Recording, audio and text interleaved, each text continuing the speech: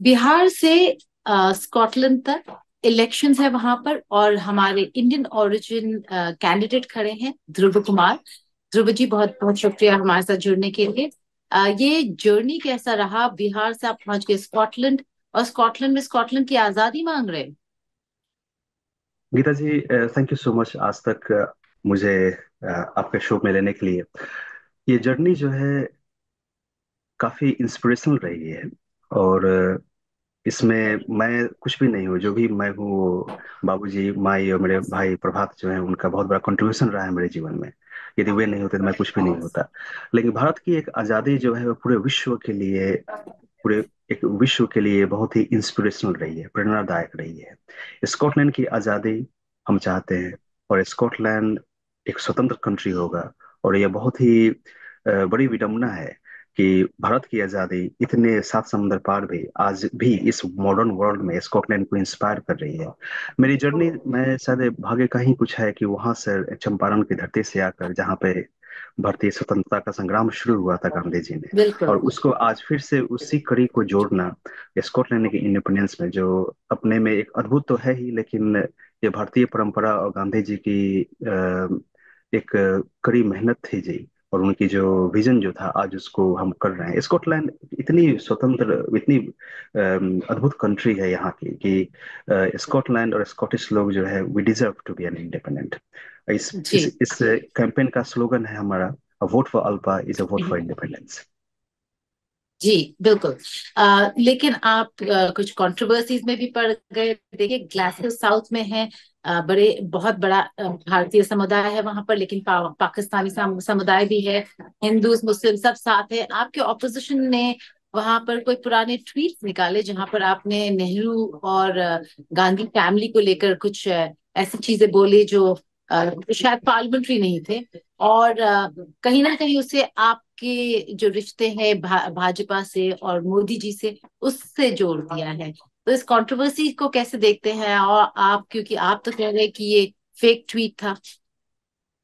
जी वो फेसबुक पे था वो ट्वीट तो मैं 2014 में आप आ, मैं यूज़ भी नहीं करता था। वो और इंडियंस जो है आप कर सकते हैं कि फेसबुक पे ज़्यादा एक्टिव होते हैं ट्वीट पे कम होते हैं। तो उसमें मैं फेसबुक पे हाँ यह यह कोई सीक्रेट नहीं है यह कोई छुपी हुई बात नहीं है कि मैं मोदी जी को सपोर्ट करता हूँ। और मैं बहुत गौरवान्वित हूँ इस चीज़ से कि मोदी जी को सपोर्ट करना जो विश्व के सबसे बड़े लोकतांत्रिक देश के तीसरी बार प्रधानमंत्री बने हुए हैं, जो बहुत गौरव की बात है। आपने इतने विश्व में कवर किए हैं और आपको डेफिनेटली गीता जी, यह सेंस ज़रूर आया होगा कि भारत की लास्ट दस सालों में कितनी बड़ी प्रतिष्ठा आगे बढ़ी है, जिसमें मोदी जी का बहुत बड़ा हाथ है। उस चीज़ को प्रशंसा करना, यह हमारे लिए गर्व की बात है। ओपोनेंट पार्टी इस ग्लासगो साउथ में मैं बहुत भाग्यशाली हूँ और सबका सपोर्ट है, सबका, चाहे अपने भारतीय समुदाय हो, पाकिस्तानी भाई बहन हो। हमारी एक पार्टी है जो सीज फायर इन गाजा को प्रमोट कर रही है और हम लोग जो है वो ये बोल रहे हैं कि गाजा में सीज फायर इमीडिएट होना चाहिए और यूके गवर्नमेंट वेस्ट मिनिस्टर जहाँ लंदन में बैठी हैं we are telling them to stop selling arms to Israel मैं मॉस्क में, अपने मस्जिद में मैं वहाँ गया। हमारे पाकिस्तानी भाई लोगों ने बहुत सपोर्ट किया और उनके वोट्स भी मुझे बहुत मिल रहे हैं। ये तो अपोनेंट की बेचैनी है, जिनको कुछ भी नहीं मिला मेरे अगेंस्ट में। तो वे बस उस मिसकंस्ट्रक्टेड ट्वीट को फेसबुक को जो हैक था, उसको करके ये सामने मुझे पिच करने का, उनका एक बोले कि that's the best thing they could come out against me. Uh, लेकिन उसका कोई इम्पैक्ट नहीं है। उसका कोई uh, कोई कुड नॉट अचीव लेकिन हाँ uh, मोदी जी बहुत खुश होंगे कि उनका नाम जो है स्कॉटलैंड में ज़रूर फिर से हुआ है। Um, लेकिन ये भारतीय इतने इतने हज़ारों मील दूर भी अभी भी अगर देखे कोई इलेक्शन में भारतीय जनता पार्टी और मोदी की चर्चा हो रही है तो ये तो इंडिया की और स्कॉटलैंड की बहुत बड़ी बात है यार। और ये नेचुरल एलाइज है इंडिया और स्कॉटलैंड तो नेचुरल एलाइज है। Um, हम दोनों का कॉमन बैकग्राउंड है इंडिपेंडेंस um, हमारी नेचुरल रिसोर्सेज और पीपल स्ट्रेंथ जो है दोनों कंट्री को बनाती है।